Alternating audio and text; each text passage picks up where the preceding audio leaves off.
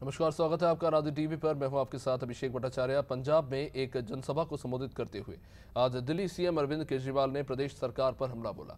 उन्होंने कहा, उन्होंने लुधियाना बॉम्ब ब्लास्ट का ज़िक्र करते हुए कहा कि कुछ लोग हैं जो पंजाब का माहौल खराब करना चाहते हैं और यहाँ की सरकार कुछ कर नहीं रही है, क्योंकि उन्हें पता है ये तो चलता रहेगा। इसी के साथ उन्होंने पंजाब में फैले नशे के कारोबार को लेकर कहा कि अगर पंजाब में आम आदमी पार्टी की सरकार बनी तो छह महीने के अंदर वो पंजाब से नशे का नामो निशान मिटा देंगे।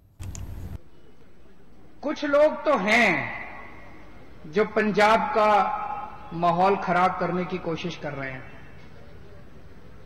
ये सारी वारदातें चुनाव के टाइम पे क्यों होती है?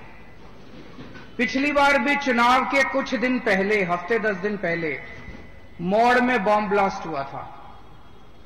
पिछली बार भी 2015 में बेअदबी का बरगाड़ी कांड हुआ था।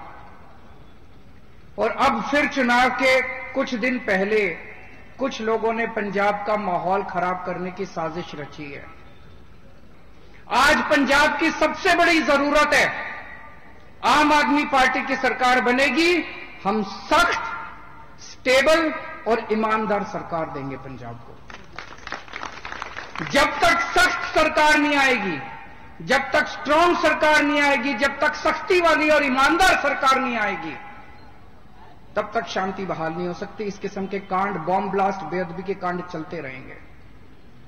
आम आदमी पार्टी, अकेली पार्टी है पूरे देश के अंदर जो ईमानदारी के साथ काम करती है। दिल्ली के अंदर करके दिखाया, भ्रष्टाचार खत्म कर दिया।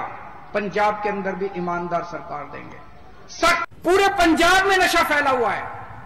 हर पिंड में नशा फैला हुआ तो इसका मतलब बहुत बड़े बड़े नशा बेचने वाले डीलर बैठे हैं। हर ज़िले में बैठे हैं, हर हल्के में बैठे हैं। उनको कौन पकड़ेगा? उनको नहीं पकड़ रहे।